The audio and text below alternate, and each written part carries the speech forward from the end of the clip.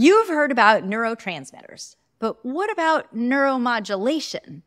And did you know that many brain chemicals do both? Hi, it's Brain Bites with me, Dr. B. I'm Jessica Beachkofsky, your friendly online psychiatrist.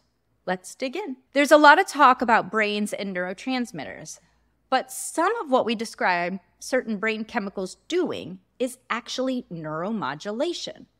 What's the difference, you ask? Well, let me explain a little more about neurotransmitters versus neuromodulators. The main differences are their speed and duration of action. Neurotransmitters act quickly and very briefly, while neuromodulators have slower and more long lasting effects.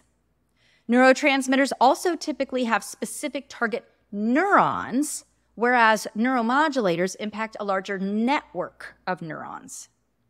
Neurotransmitters are released from the presynaptic neuron into the synaptic cleft, which is the space between the pre and the postsynaptic neurons. They bind to receptors on the postsynaptic neuron, directly affecting that neuron and causing rapid changes, leading to the transmission of nerve impulses or signals. This process is synaptic transmission and has quick onset and short duration. Examples of neurotransmitters include acetylcholine, dopamine, serotonin, GABA, and norepinephrine. On the other hand, neuromodulators don't directly send a message to a single neuron. Instead, they modulate the overall activity of neurotransmitters by binding to receptors that influence the release or uptake of neurotransmitters the sensitivity of receptors, or the overall excitability of neurons. This modulation can enhance or inhibit synaptic transmission and typically results in slower, longer lasting effects.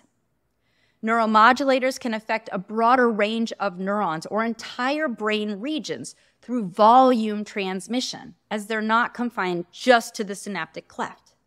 They can act both inside and outside the synapse. I hope your brain is filled with balanced neuromodulation, no meds required.